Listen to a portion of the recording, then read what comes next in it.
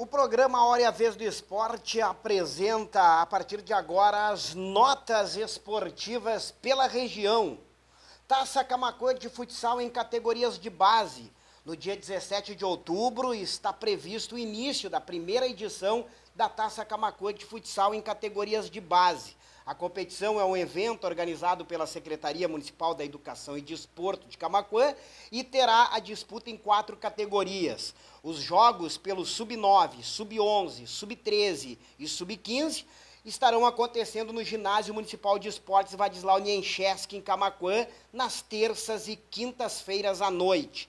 Para obter mais informações, você pode entrar em contato pelo 3692 1804 é o WhatsApp também, ou diretamente no Ginásio Municipal de Esportes. O certame deverá contar aí com cerca de seis escolinhas de Camacuã. Taça Camacuã de futsal em categorias de base. Início, dia 17 de outubro. Vem aí a corrida Camacuã Kids Room. No dia 28 de outubro acontece mais uma etapa da corrida Camacuã Kids Room as inscrições para o evento são gratuitas e estão abertas até o dia 26 de outubro e devem ser realizadas de forma online. A organização está a cargo da Secretaria Municipal da Educação e Desporto, numa parceria com Além de Bueno Assessoria Esportiva, e tem como objetivo proporcionar às crianças e adolescentes da rede municipal, estadual e também privada de Camaquã a prática da corrida, a socialização, a alegria e a diversão. O evento será realizado na Praça Zeca Neto e terá início às 16 horas, reunindo crianças e jovens dos 4 aos 15 anos em suas respectivas categorias. É no dia 28 de outubro, mas não esqueça que as inscrições vão até o dia 26. Corrida Camaquã Kids Room. Copa Barro Preto de Futebol 7, a terceira edição da Copa Barro Preto de Futebol 7, já encerrou as suas inscrições e seu início está previsto para o dia 22 de outubro.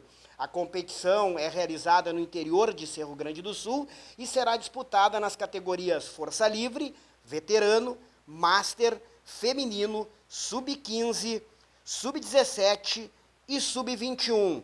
Em breve estaremos trazendo mais informações já com as chaves e os jogos de abertura. É no dia 22 de outubro, mais uma edição da Copa Barro Preto de Futebol 7. Terceira Copa Léo Araújo de Futsal em Amaral Ferrador. O mês de outubro reserva aí o início da terceira edição da Copa Léo Araújo de Futsal, com jogos no Ginásio Municipal de Esportes em Amaral Ferrador. As inscrições estão abertas nas categorias livre aberto, livre fechado, veterano e feminino. Os dirigentes que tiverem interesse de participar da competição podem pegar suas fichas de inscrições na Secretaria de Cultura, Desporto e Turismo, lá de Amaral Ferrador, de segunda a sexta-feira, em horário de expediente. O certame é uma promoção da Prefeitura Municipal de Amaral Ferrador, em parceria com a Rádio São José do Patrocínio. Venha então, terceira edição da Copa Léo Araújo de Futsal em Amaral Ferrador. Campeonato Brasileiro de Judô Sub-13, Dom Feliciano estará sendo representado no Campeonato Brasileiro de Judô Sub-13, que vai acontecer em Curitiba, no Paraná, neste final de semana, no sábado, dia 30 de setembro e domingo, dia 1 de outubro, pela atleta Ingrid Ribeiro Reis, de apenas 11 anos. A jovem participa do projeto Só Ajudo, desenvolvido no município com apoio da Prefeitura Municipal de Dom Feliciano. Este projeto tem à frente os senseis Francisco Rodrigues, o Sachi, e o Adair Rodrigues da Cunha, o Daico que desde a sua criação estão colhendo resultados positivos através de muitas competições que estão participando. Ingrid conquistou a vaga na seletiva realizada em Veracruz no dia 26 de agosto e participará do brasileiro com a seleção gaúcha de judô. Daico também estará participando da competição como treinador da representante de Dom Feliciano. Campeonato de Futebol de Campo de Cristal.